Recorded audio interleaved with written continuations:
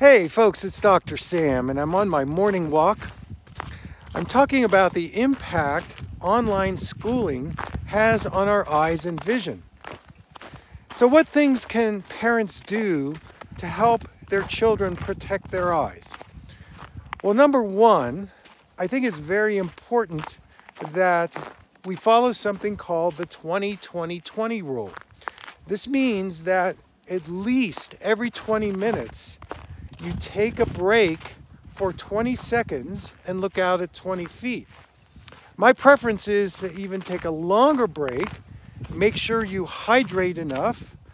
I even recommend going out in nature for a few minutes and get a reset on your nervous system.